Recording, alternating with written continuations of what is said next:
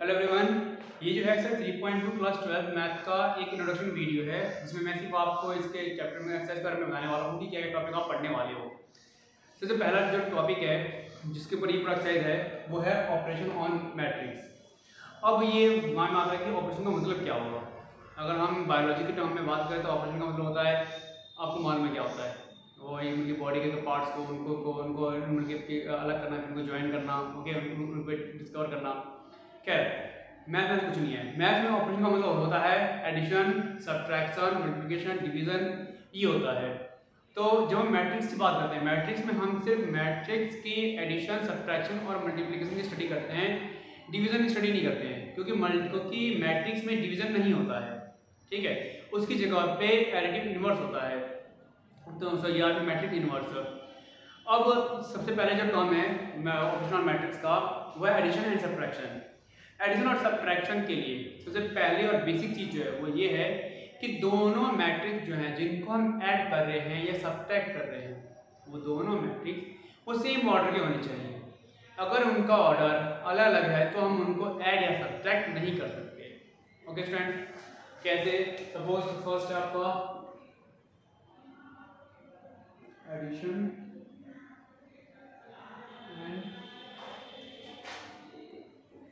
subtraction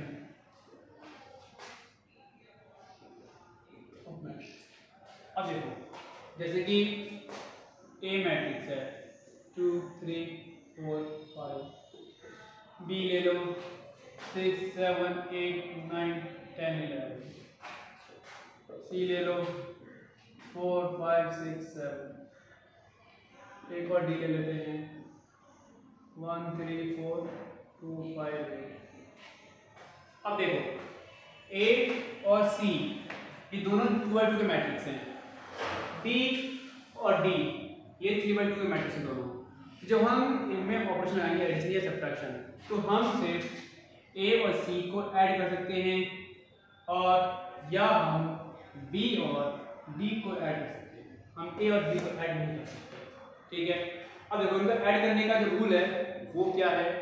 कि इसका element first row first column का एलिमेंट इसके फ़र्स्ट रो फ़र्स्ट कॉलम के एलिमेंट से से हम ऐड करते हैं। ठीक है?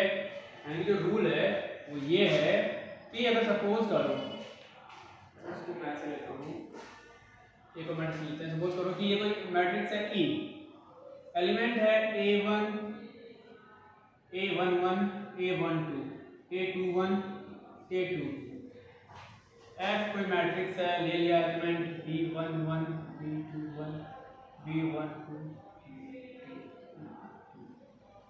अब मैं ऐड कर रहा हूँ। तो अगर मैं ई और एफ़ को ऐड करता हूँ ए प्लस है तो ये होगा A one one plus B one one A one two plus B one two A two one plus B two और A two two plus B यानी कि हर एक एलिमेंट को उसके कोरस्पॉन्डिंग एलिमेंट से ही एडिशन सब्ट्रैक्ट करना है। इसको, इससे इसको, इससे, इस एलिमेंट को, इससे इससे। इसे इसको मैंने वन टू के फॉर्म में लिख समझाया है।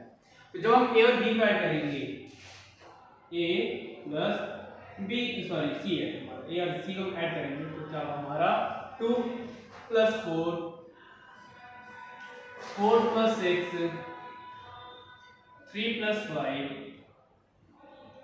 and 5 plus 7 is equals to 6, 10, 8, 12. ये हो गया हमारा आंसर ऐसे ही अगर सब्ट्रैक्ट करना हो a माइनस सी तो सेम जैसे मैं प्लस क्या है ना माइनस का साइन आ जाएगा. टू में से two minus four four minus six, three minus five और फाइव माइनस सेवन। ये रहेगा माइनस का टू, माइनस का टू, माइनस का टू, माइनस का टू। ओके, ये हो गया आपको पता चल गया ए माइनस सी का। तो इस टाइप से हमें इनको ऐड और सब्ट्रैक्ट करना है। ऐसे हम बी और डी के लिए अगर बी और डी को ऐड करें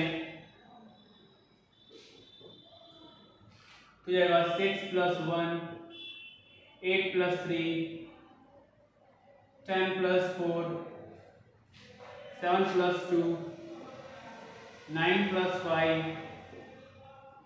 and 11 plus 8. अब ये जाएगा seven eleven fourteen nine fourteen eighteen sorry nineteen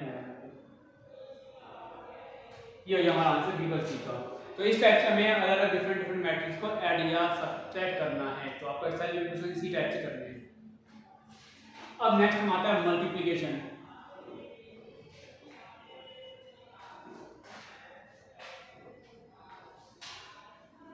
तो मल्टीप्लिकेशन में सबसे पहला काम है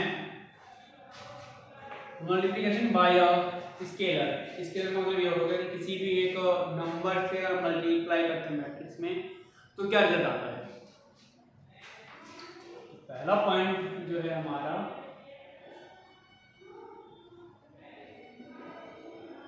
multiplication of matrix by a scalar.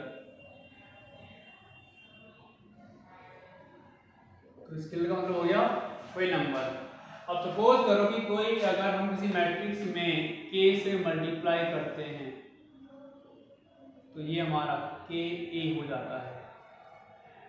मतलब मतलब ये हुआ कि अगर a कोई मैट्रिक्स है वन टू थ्री फोर ठीक है? और आप फाइव से मल्टीप्लाई कर रहे हो फाइव इंटू फाइव ए लिख रहे हो तो ये हो जाएगा five one three two four five की मल्टीप्लेशन हो जाएगी। फाइव टेन फिफ्टीन ट्वेंटी ये हो गया फाइव ए का रिज़ल्ट इसके साथ में अगर सपोज़ करो कि बी होता B equals to four six eight ten होता. आपसे कहते हैं कि टू बी लिखो. तो आप टू से मल्टीप्लाई करते हैं four to eight six to the twelve eight to sixteen ten to twenty okay और क्वेश्चन दे सकता है आपको एक्सरसाइज में. If five A minus two B. तो पहले क्या करना है? ए में फाइव से मल्टीप्लाई कर दिया बी में टू से मल्टीप्लाई कर दिया देन दोनों को सब्ट्रैक्ट कर दिया। ओके दैट फाइव से एट दे दो माइनस का थ्री फिफ्टीन माइनस का वन टेन माइनस का टू ट्वेंटी ज़ीरो तो इस टाइप से ये आपका आंसर आएगा। तो ये आपको एक्सरसाइज के पर्पज से ध्यान रखना है किस तरह से मल्टीप्लाई ऐड और सब्ट्रैक्ट करना है। ठीक है ना? तो ये हमारा एक स्केलर मल्टीप्लिकेशन का कॉन्सेप्ट हो गया जब हम स्केलर नोट्स मल्टीप्लाई कर रहे हैं। तो हम उसके एक सिंगल नंबर का उस होल मैट्रिक्स हर एक एलिमेंट से करते हैं। Okay friends next